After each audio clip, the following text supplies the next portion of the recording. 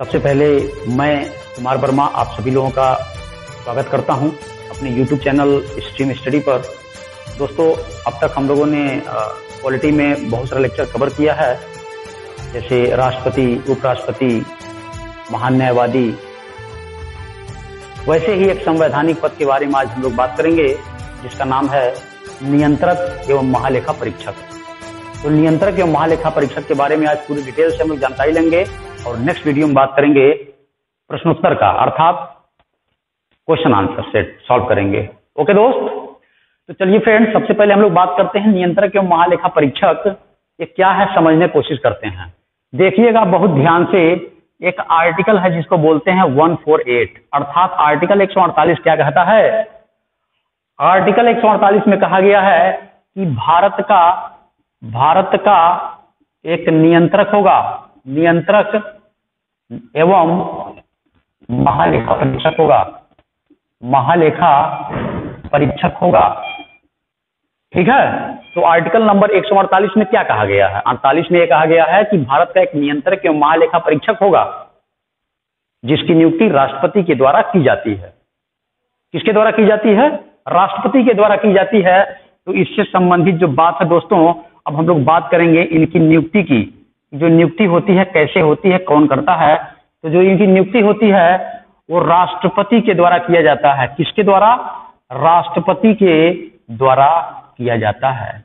तो जो नियंत्रक एवं महालेखा परीक्षक होते हैं, उनकी नियुक्ति राष्ट्रपति के द्वारा होता है। एक बात और आपको यहाँ याद रखना है कि जो नियंत्रक एवं महालेखा परीक्षक होते हैं, वो जो शपथ शपथ मतलब ओथ शपथ जो लेते हैं, वो भी राष्ट्रपति के समक्ष ही लेते हैं। राष्ट्रपति के समक्ष ही लेते हैं और किस प्रकार से कैसे लेते हैं तो एक अनुसूची है। अनुसूची को दोस्तों अंग्रेज़ी में शेड्यूल बोलते हैं।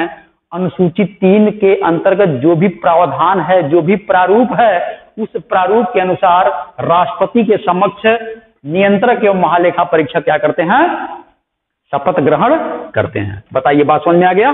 ठीक है। उम्मीद करता हूँ समझ में आ गया होगा। दूसरी बात जरा याद रखिएगा पहली बात हुआ, और दूसरी बात क्या है? दूसरी बात क्या है भाई? दूसरी बात यह है कि इनकी नियुक्ति तो हो गई, राष्ट्रपति के द्वारा हुआ, और राष्ट्रपति के समक्ष इन्होंने शपथ भी ग्रहण कर लिया। अब इनके अगर वेतन की बात किया जाए दोस्तों तो जो वेतन होता है, वो संसद के द्वारा डिसाइड होता है। कैसे होता है? संसद के द्वारा डिसाइड होता है, याद रखिएगा। नियंत्रक एवं महालेखा परीक्षक, अर्थात कैग की जो वेतन भत्ता अथवा अन्य सुविधाएँ जो उपलब्ध कराई जाती हैं, किसके द्वारा? संसद के द्वारा उपलब्ध कराया जाता है। याद रखिएगा, वेतन क्वेश्चन आता है कि कैग, अर्थात कैग इसको शॉर्ट में बोलते हैं सीएजी कैग। नियंत्रक एवं महालेखा परीक्षक का वेतन कौन डिसाइड करता है? राष्ट्रपति करता है अथवा संसद करता है तो इसका आंसर क्या होगा? संसद होगा। ठीक है ना? वेतन तो डिसाइड कर दिया। और वेतन कितना होगा? जो सुप्रीम कोर्ट होता है, सुप्रीम कोर्ट के जो न्यायाधीश होते हैं दोस्तों, न्यायाधीश के समान होता है। कैसे होता है भाई? न्यायाधीश के समान होता है। कौन से न्यायाधीश के समान? सुप्रीम कोर्ट के न्यायाधीश के समान इनका वेतन होता। है और ये जो वेतन होता है, भारत के संचित निधि पर भारित होता है दोस्तों।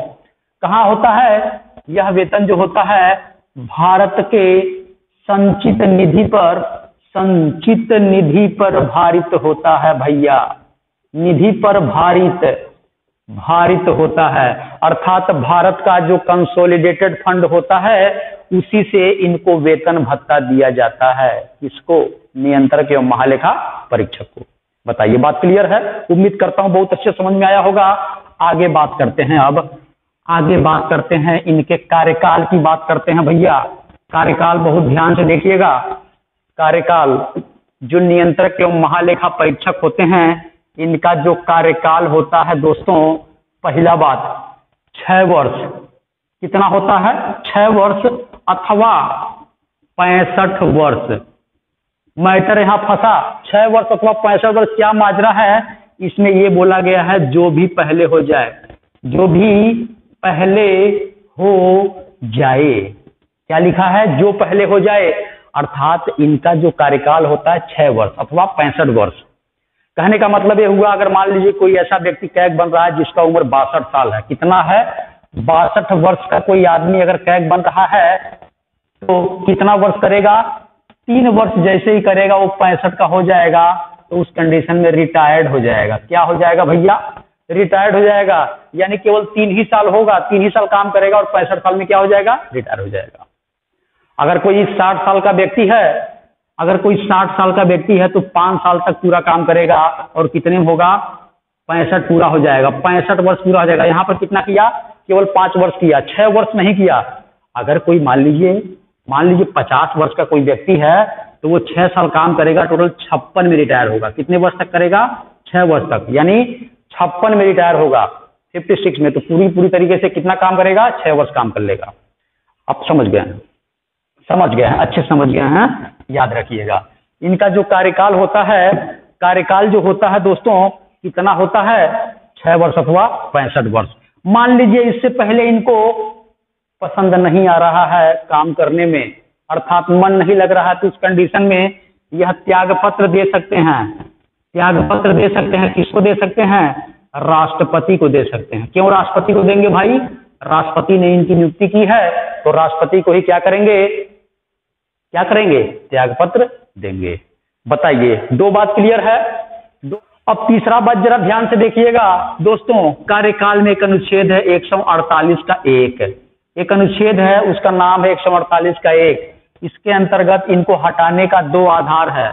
इनको हटाने का दो आधार है। दो आधार पर इनको हटाया जा सकता है। दो आधार दो आधार पर हटाया जा सकता। पहला जो आधार होता है वो सिद्ध कदाचार होता है। कदाचार होता है। कौन सा कदाचार होता है? सिद्ध इसी बोलते हैं proved. Proved misbehaviour misbehaviour तो पहला जो आधार होता है, सिद्ध कदाचार के आधार पर हटाया जा सकता है, अथवा जो दूसरा होता है, असमर्थता। अस, असमर्थता के आधार पर इनको हटाया जा सकता है, यानी इन कैपेसिटी इन कैपेसिटी के आधार पर इनको हटाया जा सकता है। तो याद रखिएगा, अगर कैग को हटाना होगा तो कैग को हटाने के लिए, कैग को हटाने के लिए दो आधार होते हैं, उसी आधार पर हटाया जाता है। पहला होता है सिद्ध कदाचार और दूसरा होता है असमर्थता। अच्छा जो हटाने का प्रक्रिया होता है, जो हटाने की प्रक्रिया होती है दोस्तों, वो किसके द्वारा होती है? तो संसद के द्वारा होती है। याद रखिएगा, किसके द्वारा होती है? संसद के द्वारा होती है, ये बात याद रखना है। और संसद कैसे हटाएगा? दो बटा तीन बहुमत बहुमत के पारित प्रस्ताव के द्वारा। पारित प्रस्ताव के द्वारा इनको हटाया जा सकता है। तो ये वाला जो बात है, याद रखिएगा, कैग को कौन हटाता है? तो संसद हटाता है। कैसे हटाता है? दो बटा तीन बहुमत के पारित प्रस्ताव से। यानी संसद के दोनों सदनों के, दो बटा तीन बहुमत के पारित प्रस्ताव द्वारा इनको हटाया जाता है। और कैसे हटाया जाएगा? असमर्थता, मान लीजिए वह असमर्थ है काम करने में तो उस कंडीशन में संसद के द्वारा इतने बहुमत से हटाया जाता है। और दूसरा जो होता है, सिद्ध कदाचार। सिद्ध कदाचार के आधार पर, अर्थात उनका अगर बिहेवियर अच्छा नहीं है तो इस बिहेवियर के कंडीशन में भी क्या होता है? उनको दो बटा तीन बहुमत के पारित प्रस्ताव के द्वारा, संसद के द्वारा हटा दिया जाता है। बताइए, बात क्लियर है? समझ गए आप। चलिए दोस्तों, अब बात करते हैं कैग अर्थात नियंत्रक एवं महालेखा परीक्षक के कार्य की, कि इनकी क्या क्या कार्य है। पहला कार्य जरा ध्यान से देखिएगा। लिखा हुआ संघ अथवा राज्य सरकार के व्ययों का लेखा संबंधी प्रतिवेदनों का जो रिपोर्ट होता है ना, वो रिपोर्ट क्या करता है कैग? जो कैग होता है, जिसको controller and auditor general of India बोलते हैं, यह दो लोगों को देता है। संघ के मामले में संघ के मामले में किसको देता है? राष्ट्रपति को देता है। कैसे, क्या चीज़ देता है? व्ययों का जो लेखा संबंधी, लेखा मतलब अकाउंट लेखा संबंधी अकाउंट संबंधी जो प्रतिवेदनों का रिपोर्ट होता है, जो भी व्ययों का रिपोर्ट होता है, वह संघ के मामले में किसको देता है? राष्ट्रपति को देता है। यह किस मामले में भाई? संघ के मामले में है। याद रखिएगा, संघ के मामले में रिपोर्ट किसको देता है? कैग। तो कैग देता है राष्ट्रपति को, और ये राष्ट्रपति क्या करते हैं? संसद के संसद के प्रत्येक प्रत्येक सदन के, प्रत्येक सदन के समक्ष समक्ष रखने का काम करते हैं। रखवाने का काम करते हैं। याद रखिएगा, जब भी कैग व्ययों का लेखा संबंधी प्रतिवेदनों का जो भी रिपोर्ट होता है, जब देता है तो दो लोगों को देता है। संघ के मामले में राष्ट्रपति को देता है और राज्य के मामले में राज्यपाल को देता है। राज्यपाल को देता है तो राज्यपाल क्या करते हैं? राज्यपाल विधान मंडल के जो लेजिस्लेचर होता है, जिसको विधानमंडल बोलते हैं, इस विधान मंडल के प्रत्येक सदन में, चाहे विधानसभा हो अथवा विधान परिषद है, उसमें राज्यपाल क्या करता है? उन दोनों सदनों के समक्ष रखवाने का कार्य करता है। बताइए, बात क्लियर है? तो संघ के मामले में, राष्ट्रपति को और राज्यों के मामले में, राज्यों के मामले में किसको देता है? राज्यपाल को देता है। ठीक है ना दोस्तों?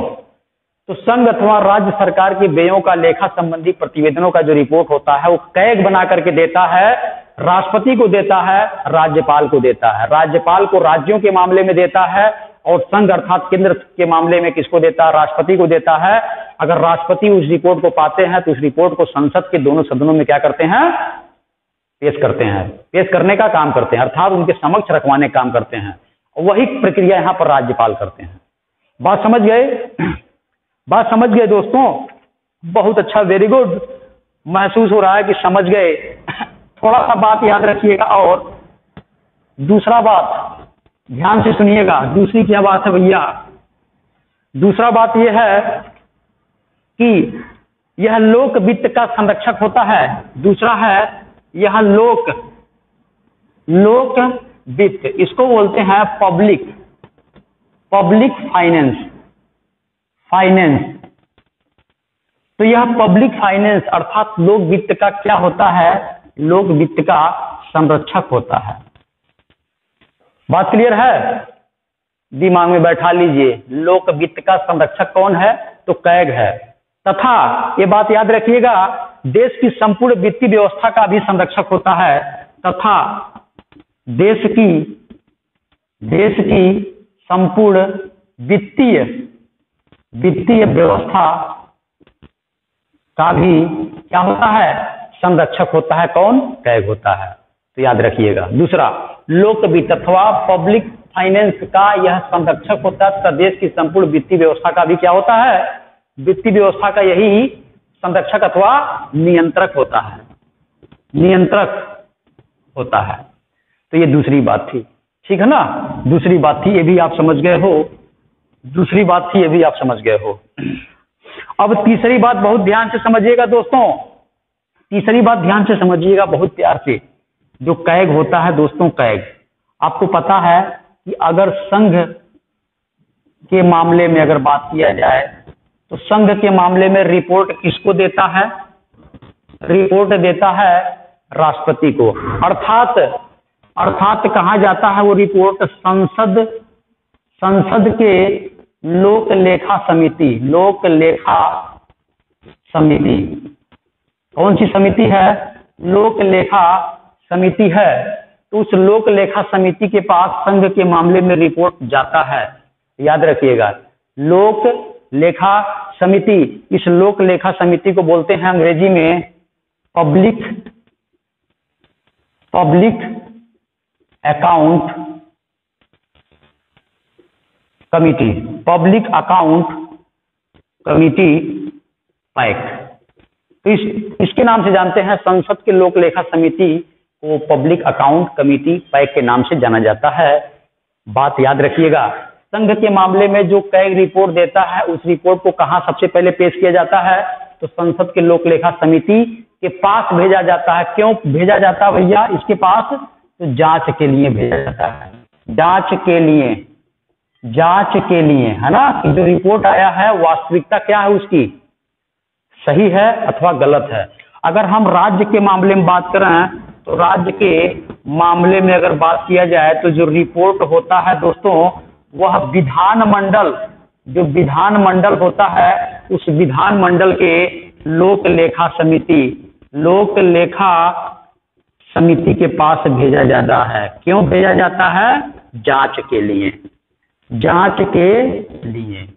क्यों भेजा जाता है? जाँच के लिए। दोनों बात याद रखिएगा। यही वजह होता है कि भारत के कैग को यही वजह होता है कि भारत के कैग को कैग को लोक लेखा समिति का लोक लेखा समिति का मित्र, क्या बोला? मित्र एवं मार्गदर्शक। मार्गदर्शक कहा जाता है। कहा जाता है। यह बात इंपॉर्टेंट है, ये याद रखिएगा। कैग को लोक लेखा समिति अर्थात पब्लिक अकाउंट कमेटी पैक का मित्र एवं मार्गदर्शक कहा जाता है। तो क्वेश्चन ये आता है कि लोक लेखा समिति का मित्र एवं मार्गदर्शक किसको कहा जाता है? किसको कहा जाता है? बताइए। तो किसको कहा जाता है? कैग को कहा जाता है। बात समझ गए ना? कैग संघ के मामले में रिपोर्ट संसद के लोक लेखा समिति के पास रिपोर्ट भेजा जाता है। क्यों भेजा जाता है? जाँच के लिए। ठीक है ना? और राज्य के मामले में जो भी रिपोर्ट होता है, वो कहा जाता है? विधानमंडल के पास भेजा जाता है और विधानमंडल में किसके पास? लोक लेखा समिति के पास। किस लिए? जाँच के लिए भेजा जाता है। तो इस प्रकार से हम लोगों ने कैग को बहुत अच्छे तरीके से पढ़ लिया है दोस्तों। कैग को हम लोगों ने बहुत अच्छे तरीके से पढ़ लिया है और एक एक पॉइंट इसका समझ लिया है और अगले वाले वीडियो में, अगले वाले वीडियो में दोस्तों हम लोग टैग से संबंधित जो भी महत्वपूर्ण प्रश्न होंगे, उनको सॉल्व करेंगे। जिससे आपका यह पूरा चैप्टर जो है अच्छे तरीके से क्लियर हो जाएगा। ठीक है ना दोस्तों? दोस्त, इसी के साथ फिर मिलेंगे अगले वीडियो में। जय हिंद।